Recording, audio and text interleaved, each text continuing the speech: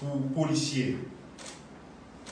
Et j'ai voulu penser pouvoir euh, le faire rapidement, pourtant la réalité de l'administration, que ce soit de l'hôpital Bernard Meuse et le respect des règles de la procédure, ont contraint à suivre un cheminement qui a mis à nu les manquements administratifs autant du côté de l'État et du privé. Il a fallu disposer d'une bonne équipe à la primature, rigoureuse, compétente ayant le sens du bien commun pour être là aujourd'hui avec la satisfaction personnelle d'aboutir à une réponse à un besoin urgent qui soit viable et fiable.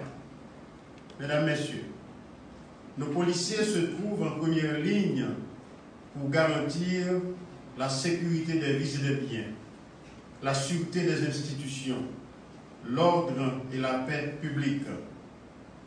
Ils sont sur tous les fronts, et ceci à la fois dans la lutte contre la criminalité, la délinquance, l'incivilité qui ronge notre société. Ils facilitent l'exercice de nos droits fondamentaux comme vivre, circuler, travailler, dormir en toute tranquillité, etc. Ils sont en conséquence les premiers agents de l'État exposés à toutes sortes de dangers et à faire l'abnégation de leur personne et de leur famille pour nous protéger et servir. Le risque d'être victime d'accidents de travail est le plus élevé chez eux, avec euh, en plus des menaces constantes sur leurs intégrités physiques, ce qui amène l'État, en conséquence, à prendre en compte cet état de fait et leur offrir tout au moins le minimum décent de conditions de travail et de vie. Des soins de santé adéquats aux besoins constituent une de ces conditions auxquelles ils ont droit et méritent.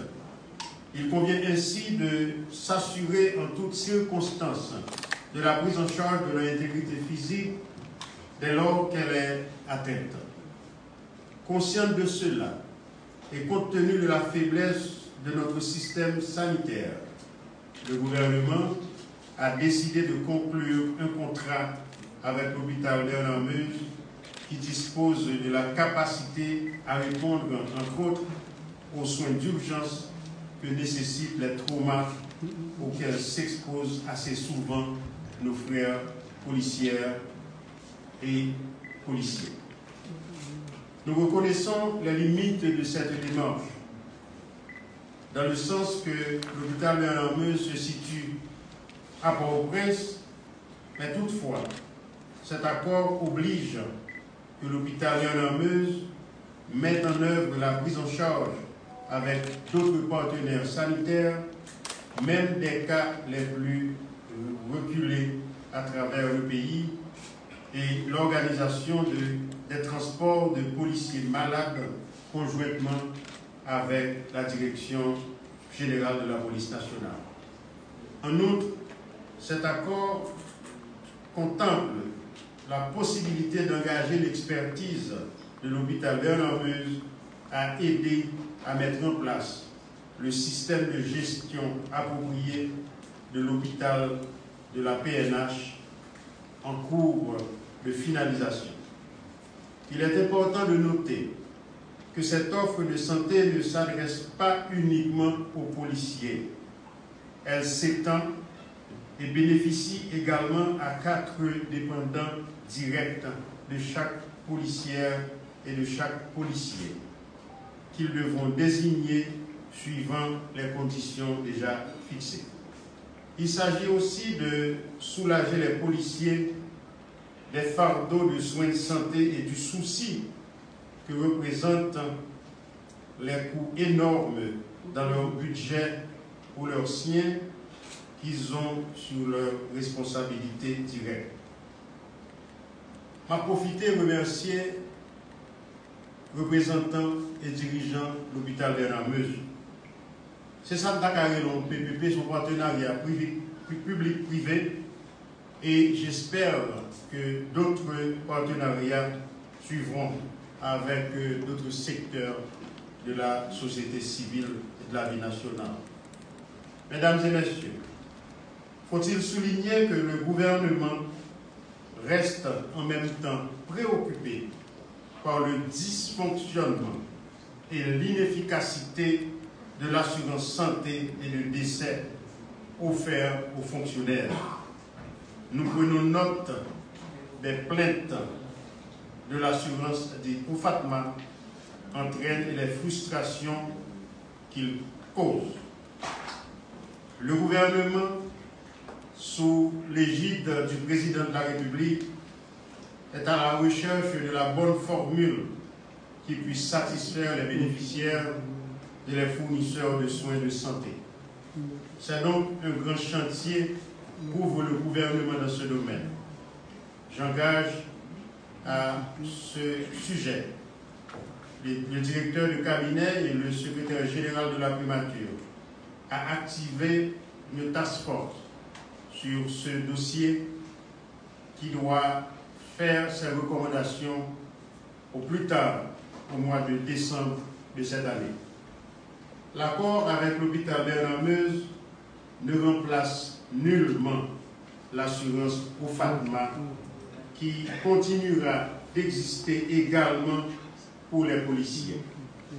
Il vient apporter un plus en faveur de nos vaillants policiers afin de suppléer un manque important en réponse aux risques énormes qu'ils encourent tous les jours dans leur travail. À la PNH et aux policiers, je salue le courage et l'abnégation que vous faites preuve dans votre travail, si compliqué et difficile. Le gouvernement est sensible à vos sacrifices et met tout en œuvre pour satisfaire vos recommandations, du moins vos revendications. Je veille personnellement, dans le cadre du CSPN, qu'elle soit toujours sur la table des débats et des décisions. Je vous rappelle que le directeur général de la police arrive chaque jour à bien porter le flambeau pour défendre vos droits et vos intérêts. Comme je l'ai indiqué à maintes reprises, il nous prend du temps, des sacrifices et de la patience pour construire.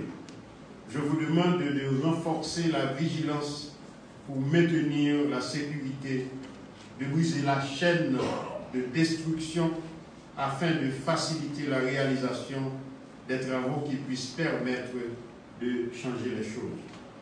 Plus que jamais, la République compte sur votre professionnalisme, votre engagement et le sens de votre discipline pour relever le défi de la sécurité pour laquelle vous vous êtes engagé dans la PNH.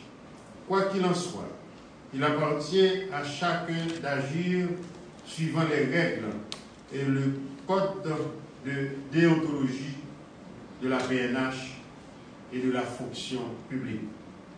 La sérénité, l'intelligence, l'application et l'observance de la loi et des règlements doivent constituer votre boussole dans tout ce que vous devez entreprendre, aussi bien pour vous-même que pour la collectivité tout entière. Bannissez et écartez-vous de toute déviance que ne pourra vous conduire au rejet de la société et de la déconsidération et à la perte.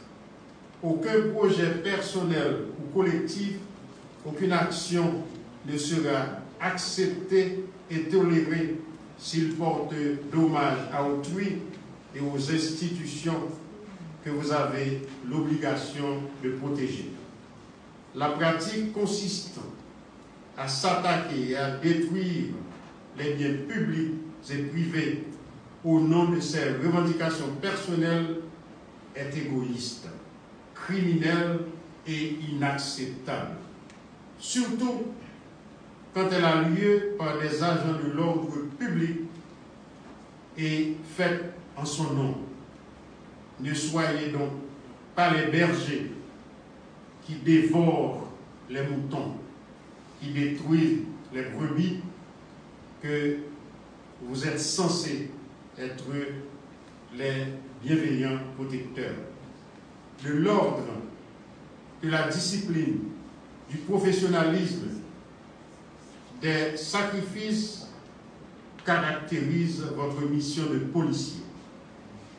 La République est en crise. Nous devons tous travailler dans la sérénité et ensemble pour la surmonter. Merci encore à l'hôpital Léonard Meuse pour l'accompagnement qu'il a offert jusqu'à présent à l'État pour cet accord. Merci à l'unité juridique de la primature qui a tout mis en œuvre pour que les documents soient conformes aux dispositions légales et que le processus soit techniquement abouti. Je n'oublierai pas le concours technique de la CNMP, du ministère de la Justice, du ministère de la Santé publique et de la Population, du ministère de l'Économie et des Finances et de l'intérêt manifeste du haut état-major de la PNH et de son équipe administrative et médicale. Un travail collectif sous la haute direction de mon directeur de cabinet qui a travaillé main dans la main avec le secrétaire général de la primature à travers l'unité juridique de la primature pour rendre possible aujourd'hui cette séance officielle de signature. Il ne nous reste une fois signé qu'à obtenir l'avis de la Cour supérieure des comptes et du contentieux administratif pour sa mise en œuvre immédiate. Je m'engage enfin la structure de la PNH prévue dans ce contrat à prendre toutes les dispositions nécessaires pour informer les policiers et de s'assurer du bon fonctionnement de ce service en leur faveur. Je vous en remercie.